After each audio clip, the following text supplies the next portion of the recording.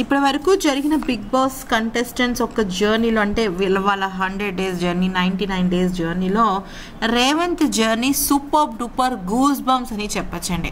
అయితే big boss BGMs కరెక్ట్గా పెట్టకపోయినప్పటికీ కూడా రేవంత్కి సంబంధించిన ఏవి మాత్రం అదిరిపోయిందని చెప్పొచ్చు. నెక్స్ట్ లెవెల్ అని కూడా చెప్పొచ్చు. అయితే బిగ్ బాస్లో ఇప్పటి వరకు నలుగురు కం ఐదుగురు కంటెస్టెంట్స్కి సంబంధించిన ఏవి ప్లే అయింది. కానీ ఎవరి ఏవీలో కూడా లేని విషయం రేవంత్ ఏవీలో ఉంది. నిన్న జరిగిన ఎపిసోడ్లో మొన్న జరిగిన ఎపిసోడ్లో రేవంత్ శ్రీసత్య ఆదిరెడ్డి అలాగే ఆదిరెడ్డి అలాగే రోహిత్ వీళ్ళందరూ కూడా వాళ్ళ ఏవీస్ అయిపోయాయి. అలాగే ఈరోజు ప్రోమోలో శ్రీహాన్ ఏవీ కూడా పూర్తయిపోయింది.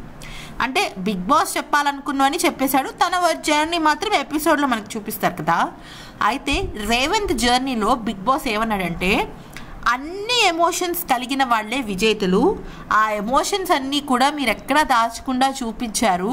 మీ యొక్క బిగ్ బాస్ జర్నీకి ఆల్ ద బెస్ట్ అని చెప్పడం జరిగింది. విజేతలు అని ఒక వ్యక్తి గురించి ఒక ఎమోషన్ గురించి బిగ్ బాస్ రివ్యూ ఇవ్వటం ఫస్ట్ టైం రేవంత్ విషయంలోనే జరిగింది.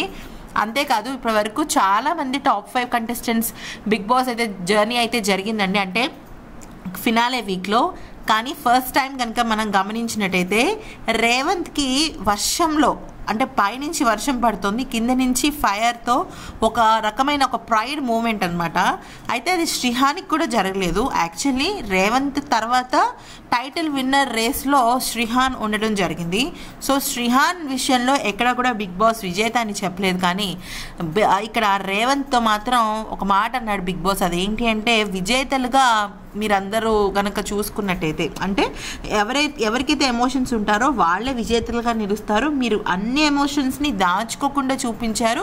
మీ బిగ్ బాస్ జర్నీకి ఆల్ ద బెస్ట్ అని చెప్తే ఇంకా అంతకన్నా కావాల్సింది ఏముంటుంది చెప్పండి బిగ్ బాస్ జర్నీలో.